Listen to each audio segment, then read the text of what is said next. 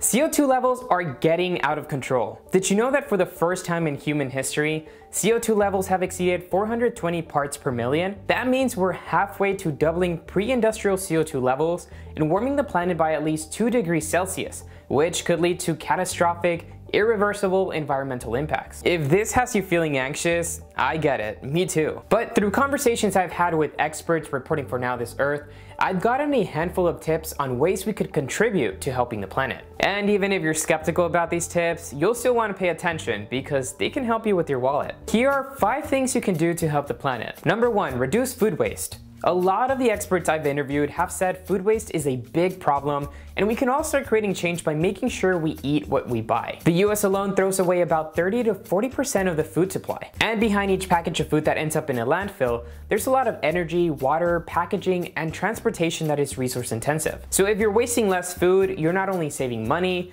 but you're also cutting down on energy consumption and land use. Number two, pull the plug.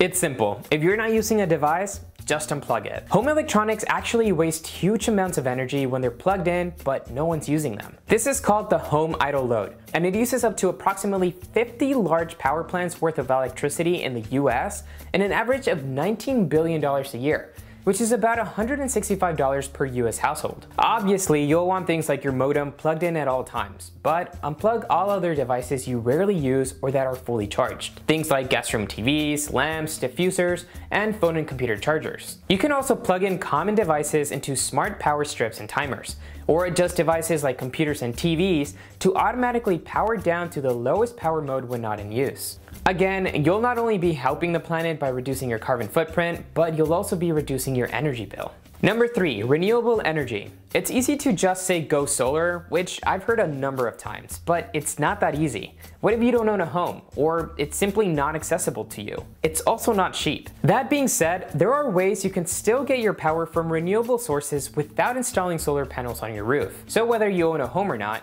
you can choose a utility company that generates its power from renewable sources like wind or solar. You can find some by going to green-e.org and see what providers near you offer. Some providers even give you a discount when you switch to green energy. Number 4. Be energy efficient.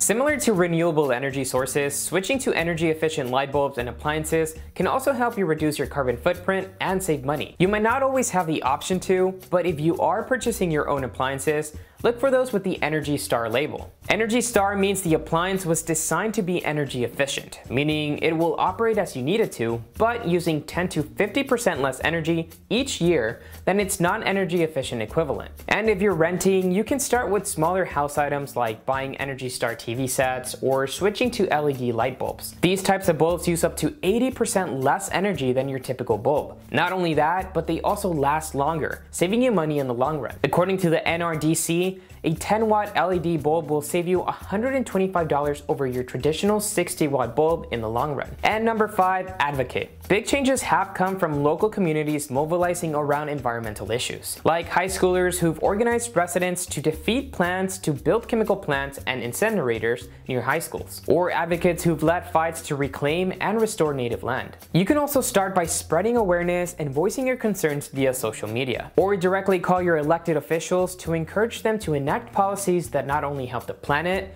but the community you live in and all of its people. So whether it's sending a tweet or curbing your electricity use, know that you have the ability to make a positive impact on the environment from your own home.